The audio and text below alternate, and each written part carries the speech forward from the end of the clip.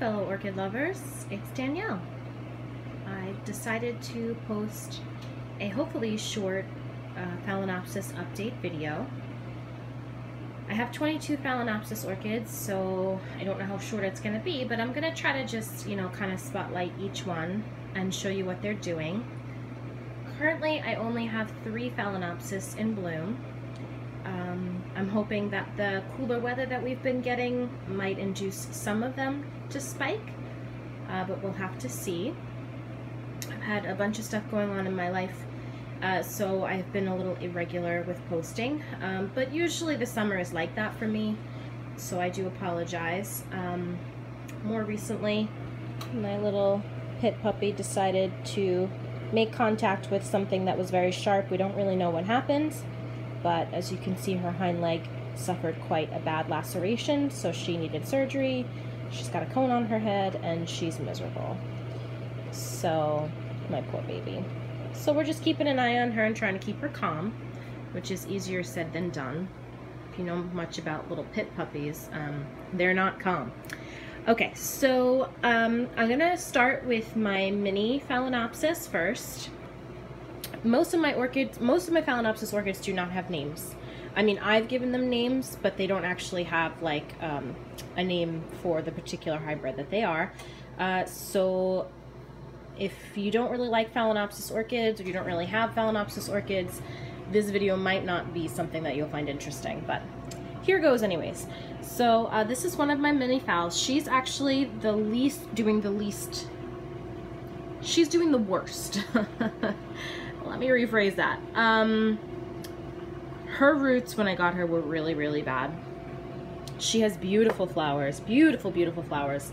She's actually probably my favorite um, Phalaenopsis because of her flowers, but as you can see, her roots, mm, not so good. Uh, she did have a fair amount of roots when I got her, but they were all, you see the yellow, all rotting when I pulled her out of her bark. Um, she was in a mixture of bark and moss, I think. I don't really remember. Um, I did cut her stem because how quickly her roots were dying, I was concerned she might have um, fusarium. And as you can see, um, a lot of the roots are dying back from the stem. And that can be a sign of fusarium because fusarium blocks um, like the vascular system. So they can't, um, they can no longer use their vascular system. It kind of like blocks it. And so that's why I thought she might have fusarium. But her stem is clean, uh, so I don't think she does. I didn't cut up too high because I didn't want to take what roots she had away. Um, but she's continuing to have problems with her roots. Uh, some are staying green, so that's good. So she is still hydrating. She did put out a new one there. Um, it's got the tiniest little growing tip on it. Uh, we're going to have problems focusing today, aren't we? There we go. Um, so, you know, hopefully she'll continue to grow. She's a nice fat root. So I have high hopes for that. Um, and, you know, with an orchid, when you do have the rotting, you can take the velamen off. I know I've said this pretty much every video that I featured a Phalaenopsis, but I'll say it again. Um, you can take the rotting velamen off and just leave the part that is green still in place. Like this one, for instance, this is all rotting. So I'll take this off. You see how it's still green underneath? That root's still alive. I'll take the rotting velamen off, you know, down to wherever, I'll find where it is still healthy. I'll pinch it and I'll take it off. And the reason I do that is because anything that's decomposing has bacteria in it. And that bacteria can affect healthy tissue. So if I left that there, that bacteria would slowly but surely affect this healthy tissue and that it would also lose that. So now it has a better chance of surviving and honestly, this root will stay green. I know that for a fact because I've had several orchids with this problem. I find that a lot of times when the roots are dead by the stem and it's not fusarium, it's because it, this orchid was watered with ice cubes. And I happen to know that this orchid did come from the store where they do that. My husband purchased this orchid from me. Um, I stopped buying from that store because I know that they do that. Um, but he wanted to cheer me up and he went to the store to pick up some groceries and he got me two orchids. So um, I'm pretty sure the reason why this is happening is because uh, this portion of the root was, was burnt by the, the ice cube. So um, it's not the end of the world. I've had orchids lose all their roots and still save them, so I'm not really concerned. Um, it's frustrating because it's going to take her a while to bounce back, and I probably won't get blooms for a really long time, and I do absolutely love her blooms, but it's not um, the end of the world, like I said. So that's her. I took rather longer on her than I intended. I, am sorry. Uh, this is the other orchid that I got um, with her. This, I call her little chick because she has like um, really cute yellow flowers with like an orange lip and it just reminds me of chicks. Uh, she actually has pretty decent roots. Um, her flower spikes are gone. She did grow this leaf in my care. Um, it's almost as big as the other leaves. I don't know if it's done growing. Um, every four weeks I go through my collection and I take measurements of everything and see you know where my orchids are and take notes on my computer. I have an Excel spreadsheet that I like to keep track. Um, but she's doing pretty good. No growing tips on her roots, but um, her roots are not dying back, so I think she's she's in pretty good shape. Uh, this is my healthiest mini phal. I've had her for quite a while now. I would say almost a year. Um, her roots extended in my care. I, I realize that you probably are getting a shine, so let me put her down and see. So you see how um, the roots go down like that. This little piece that comes off of it, that she she grew those in my care. So every single one of her old roots branched. Um, there's several things about mini phals that I've heard that I don't know how true they are, but I kind of followed them with her and she seems to like it. Um, I've heard that mini phals don't like their roots to be crowded. Uh, so I make sure I give her a lot of space for her roots. Um, they don't really like to be like the pushing on the bottom of the vase. So, I, you know, she's in a nice tall vase. Yeah, see, she's growing some new roots for me. Um, and I've also heard that they are high feeders, and I do feed her very well. Um, I, I give her Vanda feed, um, which is a higher level. Um, if you're if you have questions about you know fertilizing and feeding your orchids, I do have several videos on that, so definitely go check them out. Um, so she grew this leaf in my care. And as you can see, it is considerably larger than her other leaves. So I think she does like the higher levels of feed. Uh, her roots were not affected. Um, she's just been really happy. Um, there's another root. Uh, I did cut her spike and she does have what appears to be a little branch there, but don't be fooled. That's been there for months and it hasn't done anything. It's still green. Why aren't you focusing? Here you go. It is still green, so it may still develop into something, but it hasn't yet. But, wowzer, look at that leaf, you know? Um, I did recently find out that um, sometimes nurseries will give plants growth inhibitors to keep them small I did not know that, so that might be why this leaf is so much so, much bigger than the other leaves. It, that could be, or it could be happy with what I'm doing, which is giving it a very high level of feed. Not really sure. Either way, um, that I consider that progress in the right direction, a, a larger structure. I think, you know, that proves she's pretty happy. Plus the new roots and all that kind of stuff. So that's my other mini phal. Uh, this is the orchid I've had the longest. Um, I've had her since June of 2016. Uh, she almost died. she lost every single root she had. And um, this is the orchid that really taught me how to save Phalaenopsis orchids um, that lose all their roots. I do have a video about that as well. So if you have an orchid that's losing her roots, um, you know, check that video out. She did bloom for me this year. Um, this is the first Phalaenopsis orchid that I have that bloomed for me and didn't bloom off an old spike that I bought her with. Um, so she developed and put out this spike all on her own and I am so thrilled.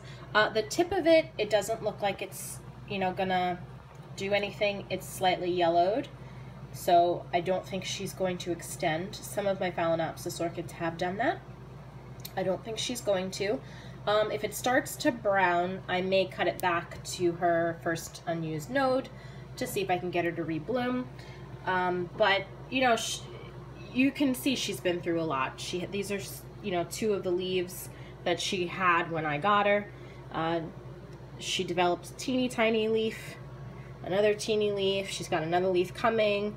Um, but she's going in the right direction. You know, the, the one leaf that she developed is small. The next one is bigger. Hopefully this one will be even bigger. She put out a spike. So she's, you know, she's doing good. She's doing well. And I'm, I'm, I'm thrilled that I was able to save her because she is very pretty. She's a white um, orchid with like purple spots and a yellow lip, which is really, really pretty. So um, this one back here, coincidentally, is the same exact orchid. Not literally, but um, bloom-wise.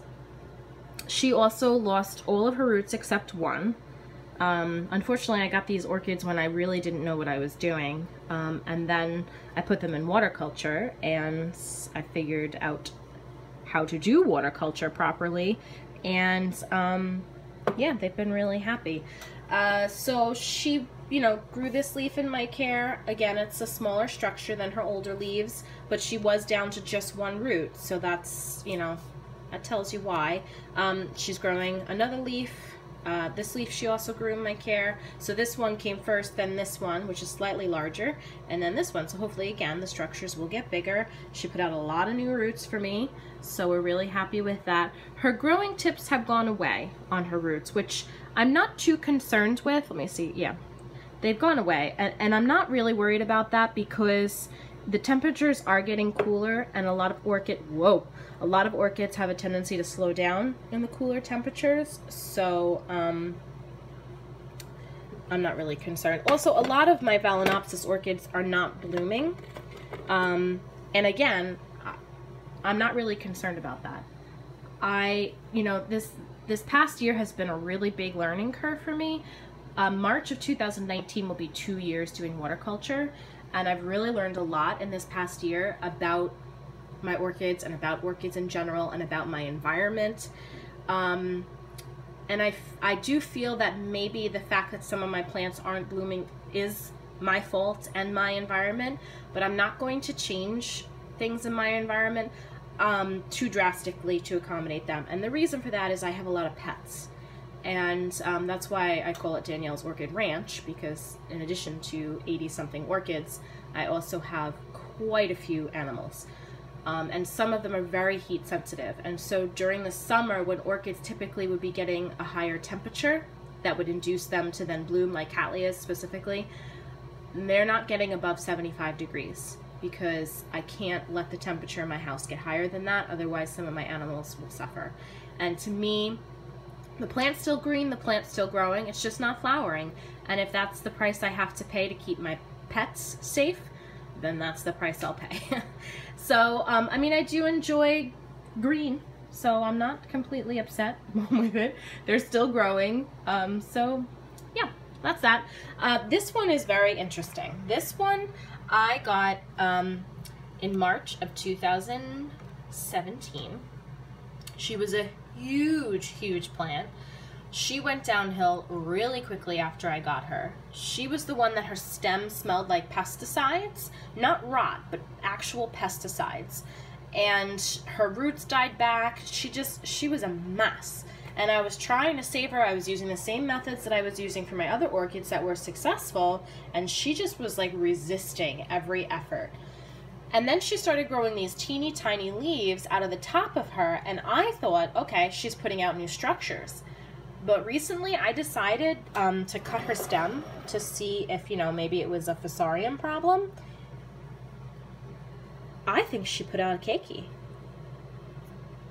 I, I, this is a, to me, this is a keiki. Unfortunately, this keiki did have roots, and in my process of disconnecting her from the pesticide crazy yucky stem, I broke it. Yeah, typical me.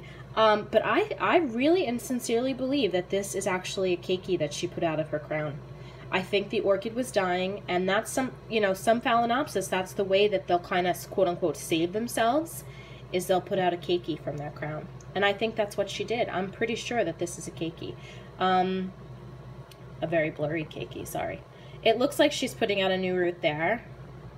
Came in, there you go. You know, putting out a new root there. She's got another leaf coming. Uh, she is difficult to hydrate because um, she has no roots. So what I'll do is I'll just, you know, hover her over the water for humidity. I know it's really hard to see and I'm sorry about that. But every once, like every uh, one to two days, depending on how hot it's been, I'll raise the water so that it's just touching her stem and I'll leave it like that for 20 minutes. So her stem gets nice and hydrated and then I'll drop the water again. Um, you know, it's, it's labor intensive. it's not for people that are lazy. and I consider myself lazy, but you know, it's just one plant, so I, I can handle that. But, um, yeah, that's what I do. And she's responding. I mean, her leaves are not as firm as I'd like. They are slightly leathery, but the poor thing has no roots. So I'm not expecting, you know, amazing things out of her. But she's not dying and she's putting out a new structure. So um, I guarantee that leaf is going to be tiny. um, but she's still trying, so I'm going to keep her. I'm not giving up on her yet. Um, this orchid, I love the blooms on her, but I haven't seen them in almost two years. Um, it's like a purple bloom with like little teeny tiny darker purple spots on it. Just really beautiful. Um, she's one of the orchids that lost um, the top portion of her roots. Um, I only have one left, but you can see that's an old root right there. And I had to remove the velamen because it was rotting. Again, I think this was an orchid that was fed with ice cubes. Um, so that's the only old root remaining, but for about uh, like eight months, that's all she had and she was still hydrating herself through old roots that the velamen had been removed near the stem and she lived to tell the tale so that did work um, she has a lot of new roots growing which is awesome she finally is giving me new roots and branching roots um, her leaves can't decide what direction they want to go in it's kind of weird I am trying to keep her in the same spot so I don't know why she's doing like this spiral effect Um, but her leaves are getting bigger, as you can see. This is the first one she put out for me, which is small. The next, um, wait. Yes, and then she put she put out this one, which is also small. The next one was bigger. This one's even bigger. And I get, you know, now that she has um, roots, that's, you know, what's making the structures able to get larger because they're they're being fed properly and hydrated properly. And just so that you know, I do know that there's a fair amount of algae in that glass. I have this is watering day, but I haven't actually watered. So usually what I do on watering day is I'll take the glass, I'll you know clean it out, I'll put fresh um, fertilized water in it. And again, if you want to know what I do for fertilizer, I do have several videos on that. Um, and then I'll rinse the roots until they turn green. I usually use warm, like tepid water to do that because that gets them green faster. And then I put them, you know, in the water and I put them back where they live. Um, this is one of my few orchids that actually has a name. This is um, Phal Fuller's Gold Stripe. Um, I've had this or orchid since April of 2017, I believe. Uh, she's she's a real puzzle. these leaves growing this way is my fault. But usually when an orchid puts out a small structure, it's because they have root loss. This orchid never lost her roots. Never. I mean, I recently cut a few of her older roots off because they weren't branching and they looked like they were just really woody and weren't really helping her. But she's never lost her roots.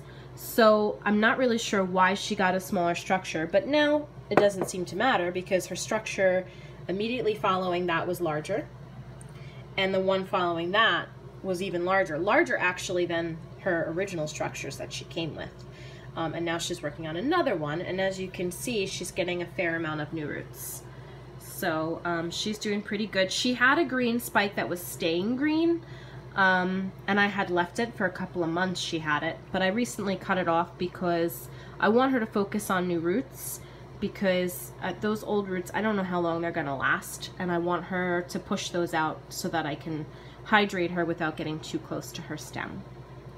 So that's my Fuller's Gold Stripe. Um, this is my Young Home Sweetie. This is another orchid that actually has a name. Her tag is way down there in the algae-ridden water, which, yes, I will clean that out. Um, these orchids have, you know, the algae because they're closer to the glass. Uh, she's the one that developed the keiki on her on her spike. So the keiki used to be in his uh, her own little little glass, but her root got so big that I was having trouble finding a glass that accommodated her without like making her like tip over. So I decided to put her in with the mother plant and it seems to be working fine. Um, a lot of amazing root growth on this orchid. I mean, she had not so great roots when I got her and she's really responded. That is a week's worth of algae growth, by the way, because I change the water and clean the vase every week. So um, I do get a fair amount of algae in my orchids that are close to the window. Uh, so in addition to a keiki, she put out this leaf for me, which was smaller, this leaf, which was bigger, and now she's working on this leaf. Um, no sign of new spikes, but again, I'm hoping that the cold weather might induce her to spike. Not really sure. Um, this purple color that she does have is something that's just typical of this type of orchid. It's not the sign of a deficiency. I did look it up just because I want to make sure I'm feeding her properly. Uh, this one is my Harlequin orchid. She doesn't have a tag, but I did look her up and I and I found her. Um, she's another one that lost pretty much every single root. Um, and then grew some new roots as you can see. She's got green growing tips. She's doing pretty good. Um, she's gotten a few new structures in my care. Uh, this, this one here, wait, that one there, this one here, this one there. And as you can see, again, they're getting bigger. So um, she's doing much better. Uh, again, she had no roots at one time, so smaller structures are to be expected. Um, but other than that, she's doing pretty good. Uh, this one is the one I got with her. This is my um, Elegant Karen Aloha. It's a yellow orchid with um, red dots. She has never had a problem with roots. She came to me with good roots. The roots remained good. Um, her old roots branched. She got a ton, ton, ton of new roots. Um, but she's never rebloomed for me. And I'm not really sure why. Again, um, I might not be giving them what they require as far as higher temperatures during the day. Um, they're pretty much staying at 75 or lower um, during the day. I have been opening the windows. Um, it's been getting down into the 60s at night, so I have been turning the ACs off and letting it get cooler in my house um, in the hopes that maybe she might some of them might actually bloom. Um, this one I don't have a name for. I just call her Princess um, because she's like the princess in the pea and she's dissatisfied with life and everything about it. Uh, she's another one that lost her roots and she lost her roots pretty much the same week that I got her. She lost everything. Um, her stem looked a little suspect to me. I didn't like the way it looked. Um, Nothing's mushy, but it just doesn't look right to me, so I did cut her stem. There is no purple, so I don't think she has fusarium, but she's not a happy bunny, and I'm not really sure why. Um, I mean, obviously she has no roots, but or she had no roots, and now she's growing roots. But even the roots she's growing, they're not great. They're, they're really not great, and you know, I know the colder temperatures will make the green tips go away, so um, I don't know, there's a balance I'm going to have to play there. Um, she has two of her old leaves left. This one never really perked up. This one did. Um, she grew this leaf in my care when she had absolutely not one root. And then since she's grown roots, she grew this leaf in my care. She does have purple on her, and I don't think that that is normal. So she does have some type of deficiency. It might be a calcium deficiency. Um, but again, she had no roots, so her stores of nutrients are probably significantly lower than they should be. Um, I'm really hoping that those new roots uh, will help her to balance out and she'll start to get healthy. Um, but she's another one that's really resisting my efforts. Uh, this Phalaenopsis I've had for about a year and she has been in constant bloom since I got her. Um, she's the one that had blooms about up to here they all fell off and the spike extended. I got like another five. They fell off and the spike extended. I got another three. They fell off. The spike extended. I got another four. Um, the spike is still green. Let me see if I can bring you in. Yep, it's still green and there's happy sap on it. And that's, I found with this orchid, what she does when she's gonna push again, is she gets happy sap on the tip.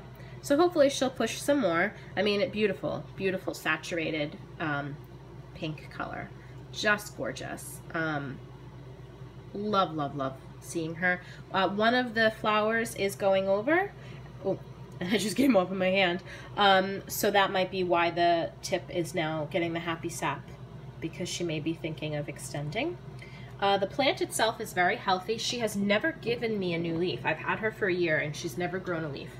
So um, it may be because she was focusing on her spike, but her leaves that she does have are healthy and leathery and I'm not concerned that she hasn't decided to give me a leaf. She has decided to give me a fair amount of new roots very recently. So she's probably just trying to focus on keeping the spike happy and the roots happy and then maybe she'll give me a leaf. I'm not really sure. I'm not really concerned. She's very healthy. So we'll we'll leave it at that and let her do what she wants to do. I'm not going to cut off a perfectly healthy spike on a perfectly healthy orchid just because it's not putting out a leaf. I'm, I'm not worried about that. So yeah, I get to look at that all the time and I just love it. Um, okay, so these are some of my other orchids. Again, I'm sorry how long this video is turning out to be. Uh, 22 orchids, uh, brief spotlight on each. Not so brief, I guess. This is my Schilleriana. Um, if you remember when I got her, I was extremely disappointed. She had two leaves and a teeny tiny new leaf when I got her, and her roots were atrocious. Like, when I say atrocious, I mean atrocious. They were shriveled and ugly and brown. Um, this is one of her old roots. This is one of her old roots. I mean, just yucky, gnarly nonsense. So I was really dissatisfied with her. Um, I put her in water culture because that's how I grow. and she grew one new root, two new roots. She's got another one coming there and her leaf has progressed.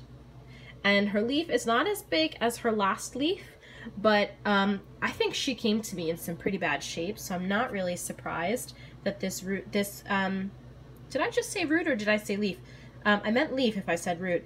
I'm not really surprised that this leaf didn't get as big as this leaf because, I, I mean, I don't know which video she's in, but, uh, you know, when I first got her, I, I was very upset with the quality of her.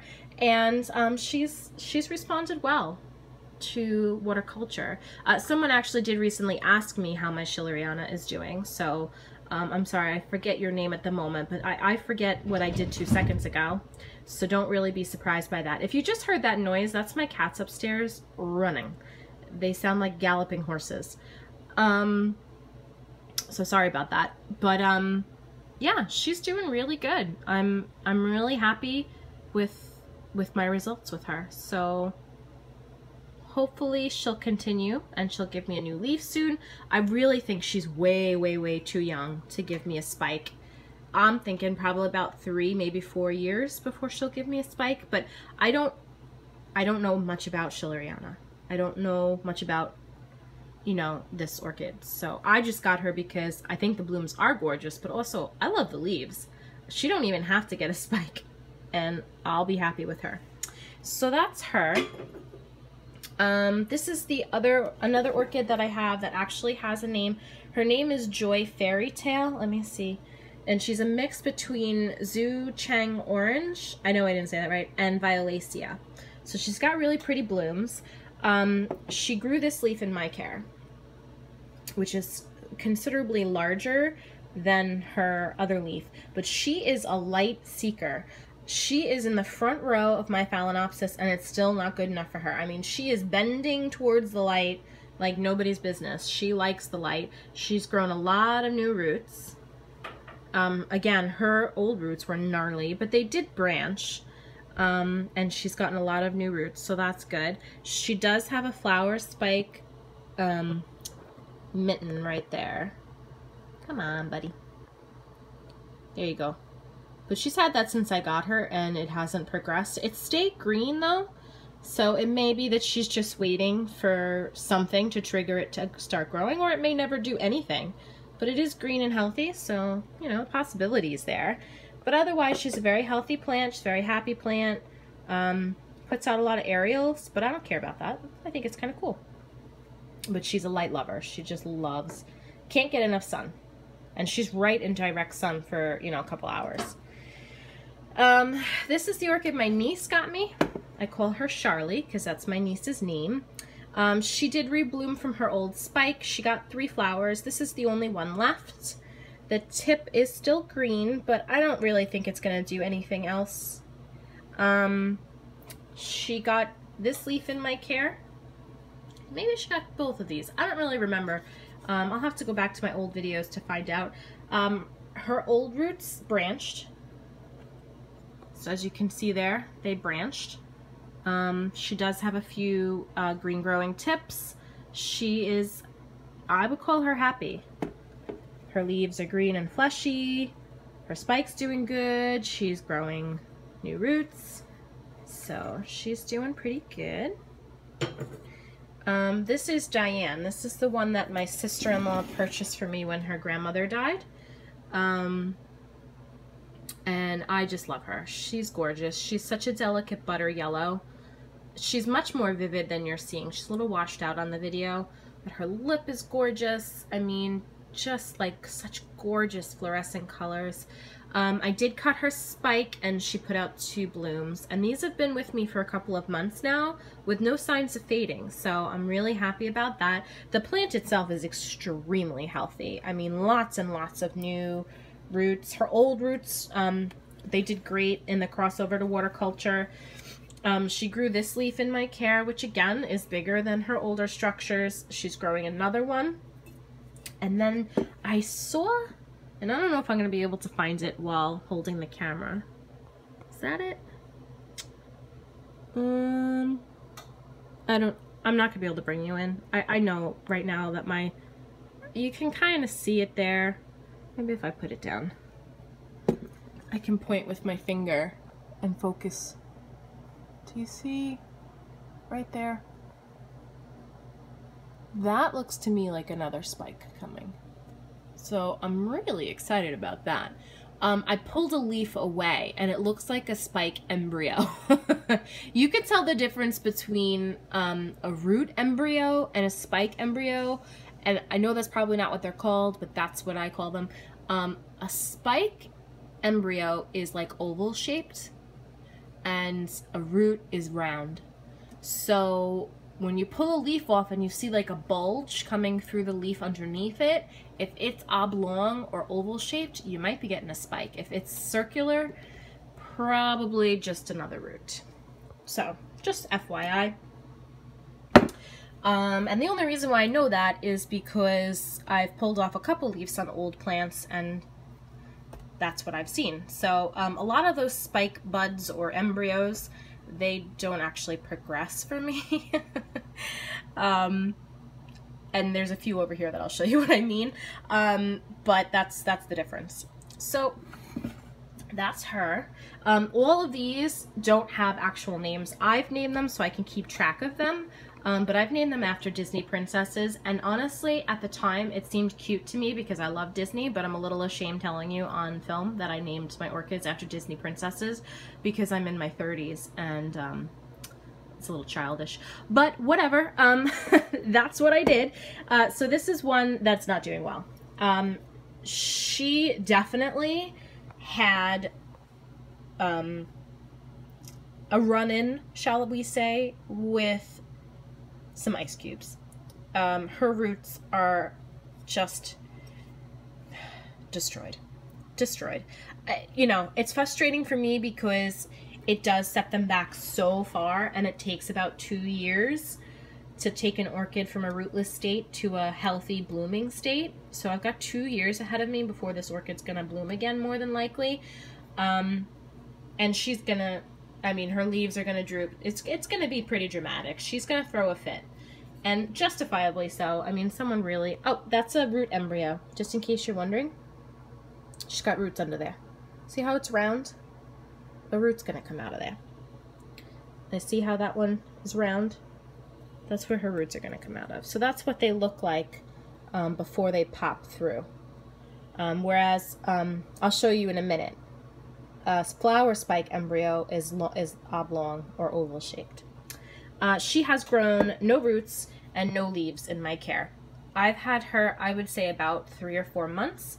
Uh, so I'm not really surprised by that. Um, she's she's still in her downward spiral. So until she gets she hits the bottom of that downward spiral, um, she's not going to progress. So I'm not not happy, but I'm not concerned. I know I can save her. I've saved plenty of orchids that were pissed off before. Um, this is another one that I got, um, you know, in the same time span as that one. This one was on the um, sale table. I got her, I think, for three or four dollars. And so she was in that one store that waters with ice cubes. So they kicked the crap out of her. Um, this one I got from the store that doesn't water without ice cubes. She's got quite a bit of new roots going on too. That yellow root right there, I have to go in and trim that. Again, I haven't watered my orchids yet today, so they are dirty and dusty and gross. Um, and I know that, so don't worry. I don't leave them like this constantly. Um, but every week I do go in and I take care of all of that.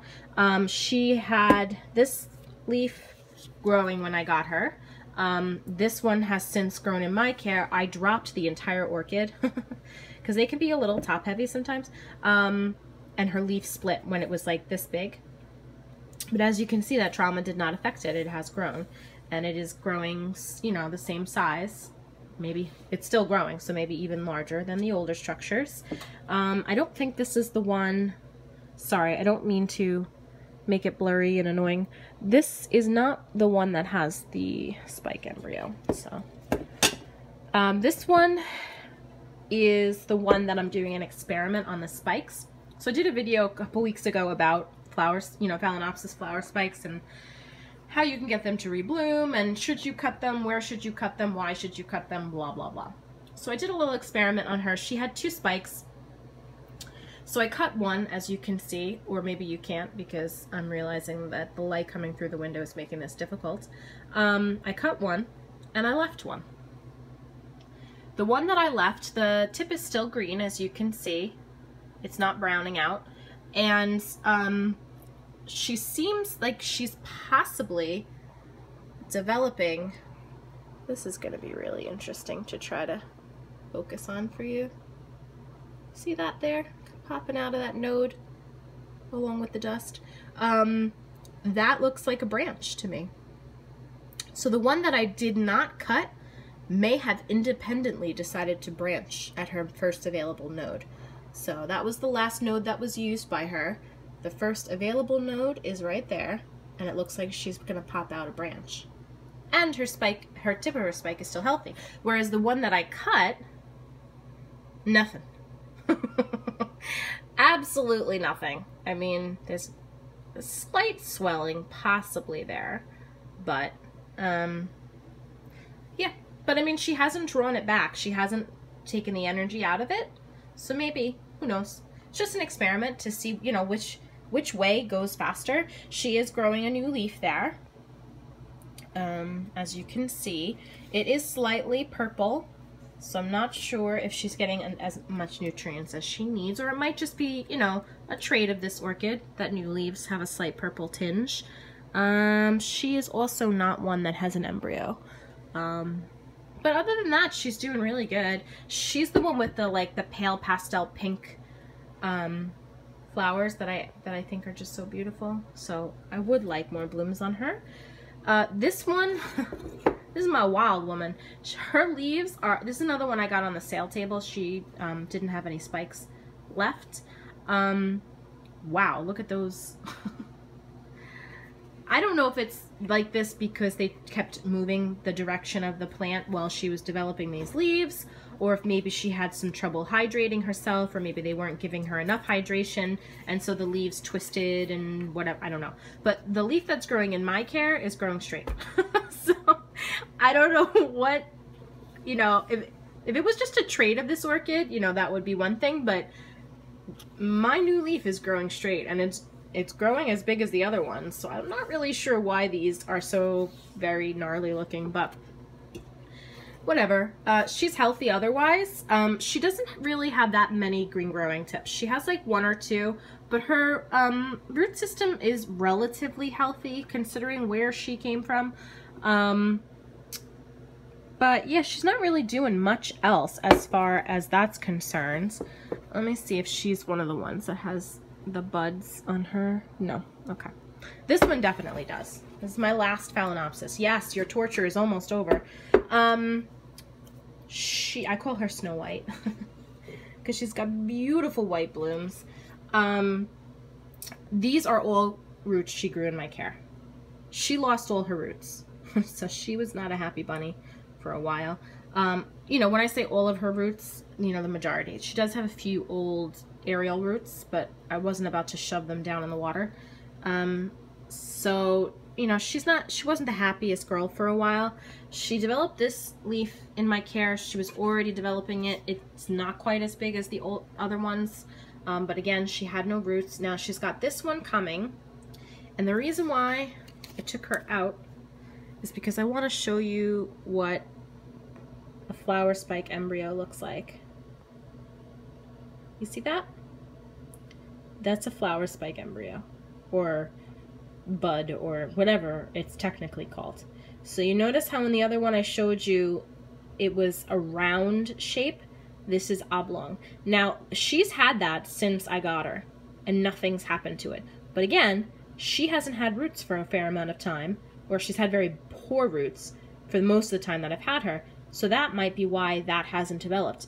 It is still healthy looking, so maybe it will, but I don't know for sure. But yeah, that's what that's what a flower spike embryo looks like, or whatever the technical term is for it.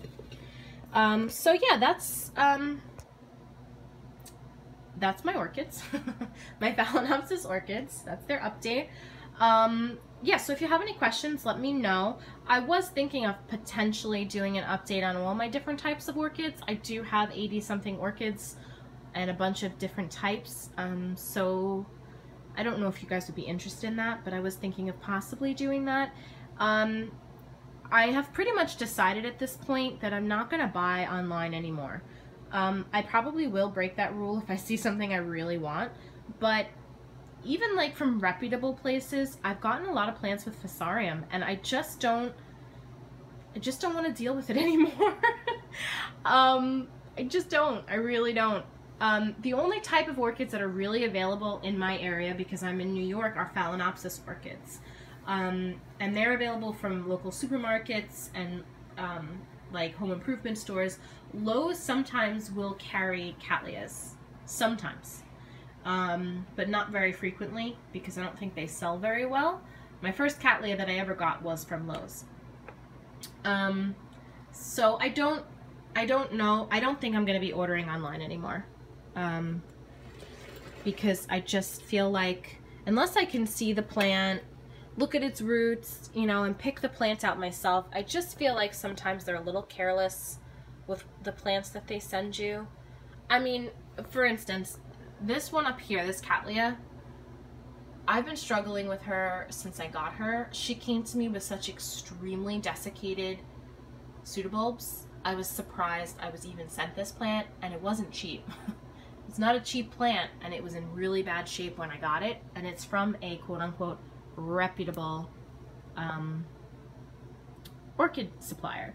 So my husband and I are planning a trip down to Disney in April, and he has decided that he will no longer fly. I'm not really happy with that decision because I hate the car ride, but one of the benefits of the car ride from New York to Florida is on the way back, maybe we can hit some orchid nurseries.